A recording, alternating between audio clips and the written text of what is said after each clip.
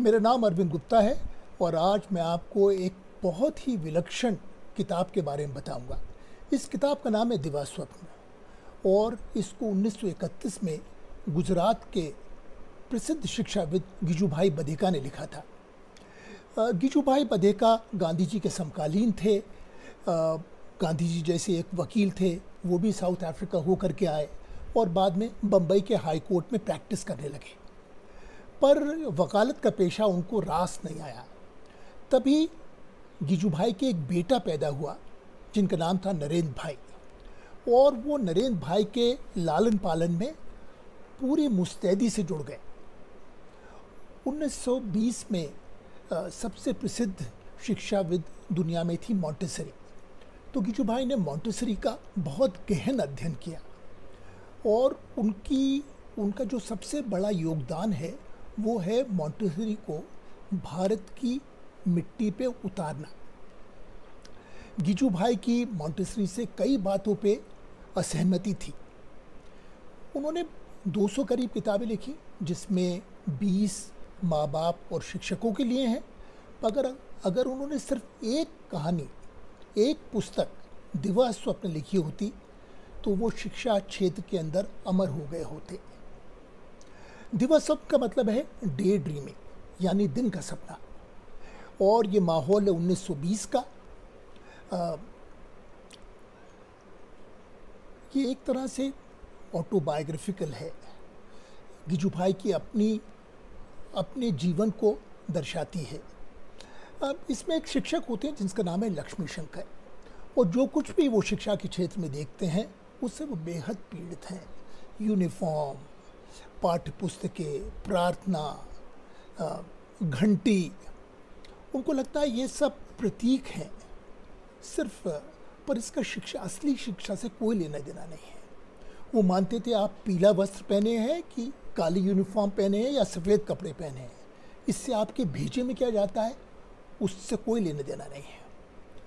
तो लक्ष्मी शंकर बहुत मौलिक सवाल पूछते थे और आज भी अगर इस तरह का कोई शिक्षक होगा तो लोग कहेंगे, ये सिरफिरा है, ये पागल है।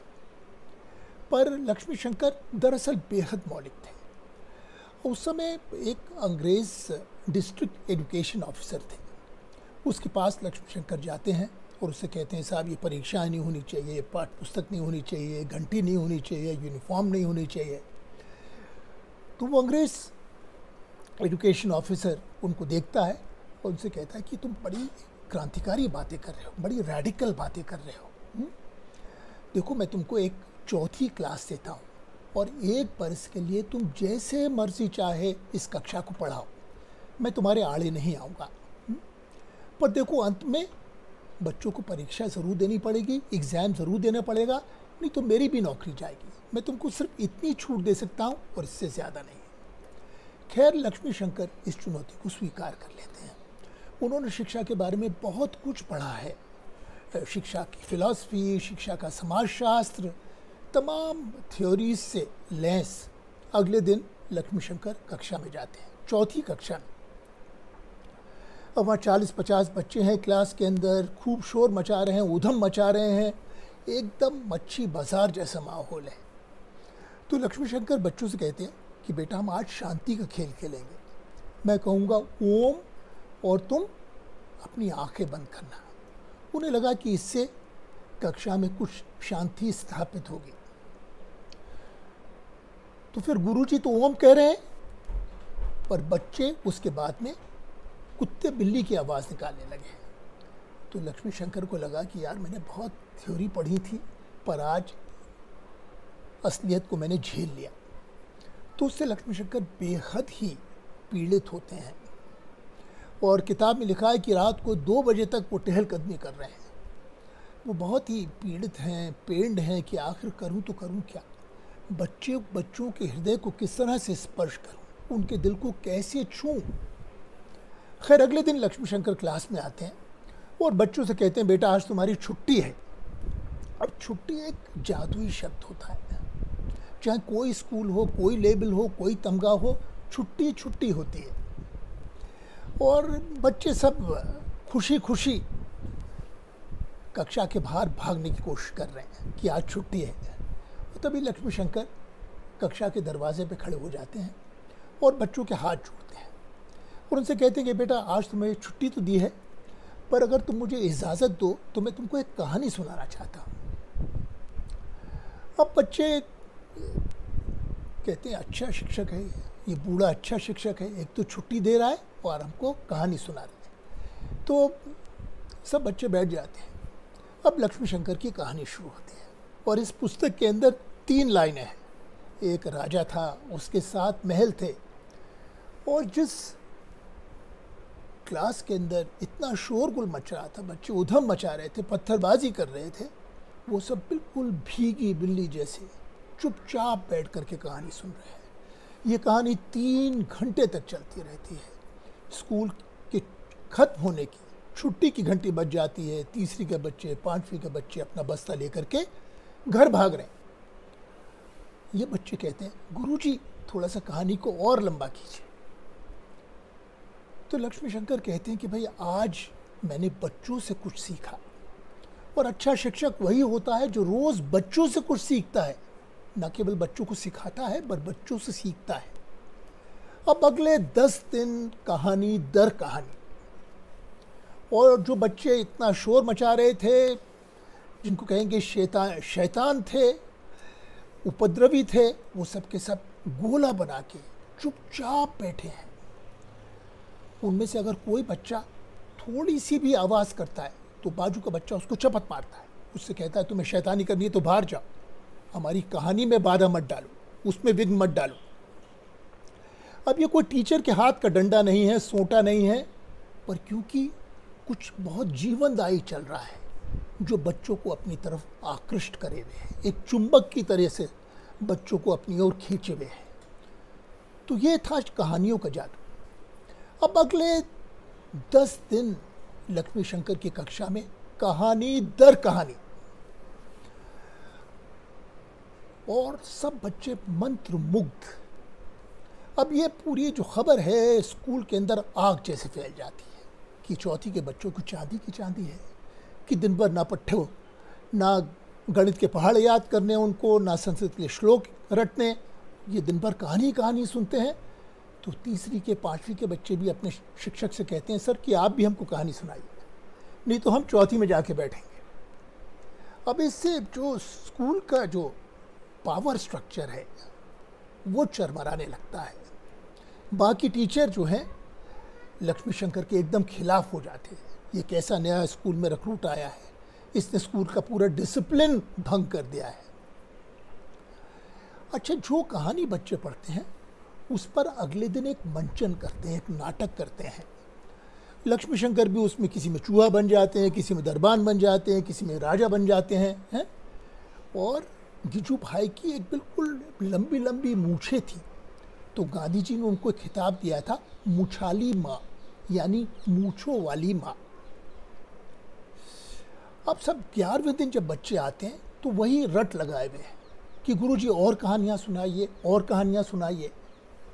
तो लक्ष्मी शंकर कहते हैं कि, बेटा, मेरी कहानियों का जितना ख़जाना था, वो तो तुम लोगों ने लूट लिया है। मुझे और कहानियाँ याद नहीं आई। पर देखो, हमारे क्लास में चालीस, पचास बच्चे हैं। और हम सभी के पास में वही पाठ्य पुस्तक है। तो तौबा तौबा।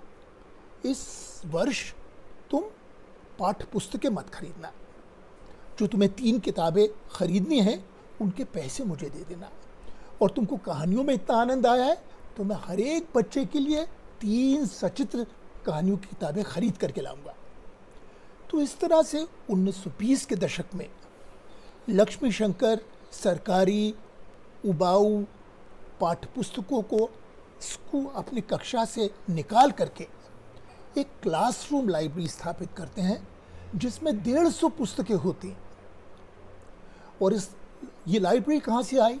इसका पैसा ना तो वर्ल्ड बैंक ने दिया, ना यूनिसेफ ने दिया, ना चीफ मिनिस्टर के फंड से आया। ये सब बच्चों के माँ बाप की जेबों से पैसा आया।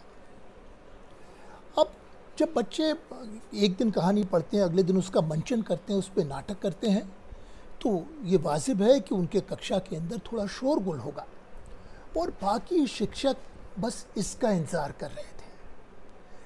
और उन्होंने जा कर के प्रिंसिपल के पास गया और शिकायत की कि साहब, ये लक्ष्मी शंकर के क्लास के अंदर इतना शोर हो रहा है कि हम अपनी जिम्मेदारियाँ नहीं निभा पाते हैं, हम पढ़ा नहीं पाते हैं। तो प्रिंसिपल ने आकर के लक्ष्मी शंकर को बहुत डांट पिलाई कि देखिए, ऐसा नहीं चलेगा। मुझे तो पूरे स्कूल को अपने साथ लेकर के जाना है और आपके क्लास में शोर नहीं हो सकता। अब एक दिन लक्ष्मी शंकर बच्चों को कुछ भूगोल के बारे में पढ़ा रहे थे। सेडिमेंट्री रॉक्स, आग्नेय पत्थर अब ये ये बड़े बड़े मेटाफॉर, मेटामॉर्फिक रॉक्स। अब ये विज्ञान की जो शब्दावली है, वो इतनी झबला तोड़ है कि और बड़ी बोझल है कि एक बच्चे को नींद आ गई और कक्षा में सो गया। तो लक्ष्मी शंकर ने सोचा कि इसमें गलती इस बच्चे की नहीं है। गलती मेरी है, खोट मेरी है कि ना तो इस बच्चे ने कभी ये पत्थर देखे हैं और मैं इतने इतने बड़े शब्द इस्तेमाल कर रहा हूँ तो वो कक्षा में सोएगा नहीं तो बेचारा क्या करेगा? उस दिन से उन्होंने एक नया सिलसिला शुरू किया। सुबह को सब बच्चे आते थे क्लास, बस एक मिलने की जगह थी। उसके बाद में एक एक चादर लेकर के नदी के किनारे चले जाते थे। और वहाँ जो कल कहानी पढ़ी थी, उसका मंचन करते थे। बिल्कुल बुलंद आवाज़ में मंचन करते थे। और उसके बाद में वहाँ पे सारा विज्ञान तो कक्षा के बाहर है। नदी, नाले, पेड़, वृक्ष, औषधीय वृक्ष, चिड़िया। उसके बाद में वो तमाम अलग अलग किस्म की मिट्टियाँ इकट्ठी करते थे, पत्थर इकट्ठे करते थे, चिड़ियों के अंडे इकट्ठे करते थे, घोंसले, उनके पंख, औषधीय वृक्ष, जिसको कहेंगे कि अब उनके परिवेश में जो कोई भी चीज़ें थी, उनका एक एक स्पेसिमेन एक एक नमूना इकट्ठा करते थे। तब एनसीआरटी का गठन नहीं हुआ था और इन्वायरमेंटल एजुकेशन एक विषय नहीं था, पर दरअसल यही बच्चे कर रहे थे, अपने परिवेश को जानने।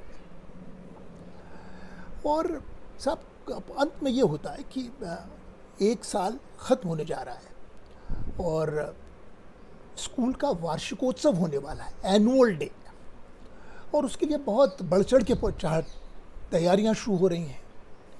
तो लक्ष्मी शंकर ने प्रिंसिपल से कहा कि साहब, ये ये वार्षिकोत्सव बच्चों के प्रति एक अन्याय है, मैं इसमें शामिल नहीं होऊँगा। तो प्रिंसिपल ने उनको बहुत डांटा कि, भाई, आप किस खेत की मूली हैं?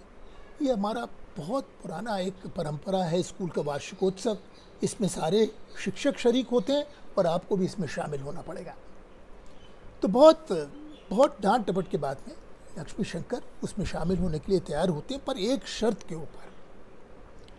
उन्होंने कहा, देखिए, मैं इसके लिए कुछ भी कृत्रिम, कुछ भी आर्टिफिशियल नहीं रचूँगा।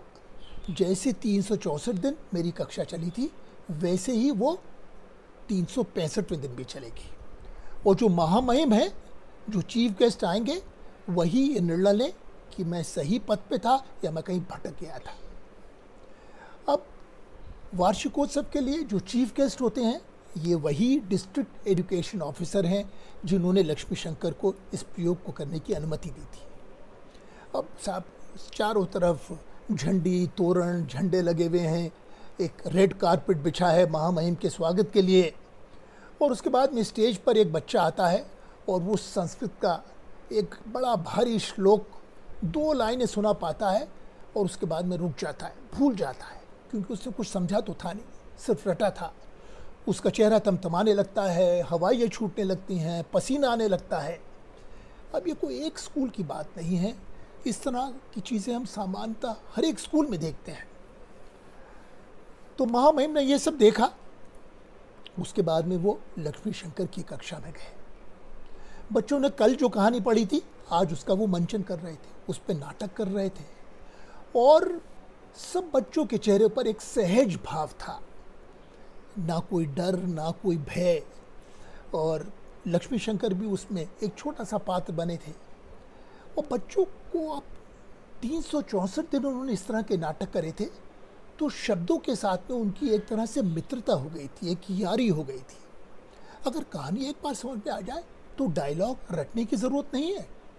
आप डायलॉग वहाँ पर उसी क्षण अपने डायलॉग बना सकते हैं। कौन सी बड़ी बात है? तो बच्चों, बच्चे जो हैं, शब्दों के साथ में बिल्कुल एक एक रम गए थे। तो उन्होंने ये सब देखा और बाद में जो बच्चों ने पर्यावरण अपने आसपास के परिवेश के जितने स्पेसिमिन इकट्ठे करे थे, नमूने इकट्ठे करे थे, एक तरह की एक नुमाइश थी। अलग अलग तरह के पत्ते, औषधीय वृक्ष, पंख, मिट्टियाँ, पत्थर, उसको देख करके जो डिस्ट्रिक्ट एजुकेशन ऑफिसर थे, वो बिल्कुल गदगद हो गए। उन्होंने कहा, सच्ची शिक्षा यही है, बाकी सब ढोंग था। तो ये थी दिवा स्वप्न की कहानी, जिसको गिजू भाई ने 1931 में लिखा था। इस पुस्तक को नेशनल बुक ट्रस्ट ने 11 भारतीय भाषाओं में छापा है। आप, आपसे अनुरोध है कि इस जीवनदायी कहानी को आप ज़रूर पढ़ें।